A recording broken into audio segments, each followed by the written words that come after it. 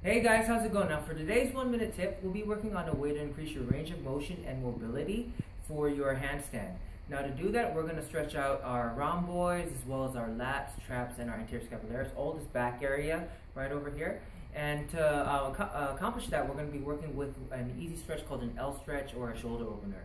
So a lot of times when people do this stretch, they tend to roll their shoulder forward, and we're going to um, prevent that by actually using a wall to assist us. Now all I want you guys to do is get your back to the wall, and now as you get your back to the wall, try to touch your shoulder blades to the wall.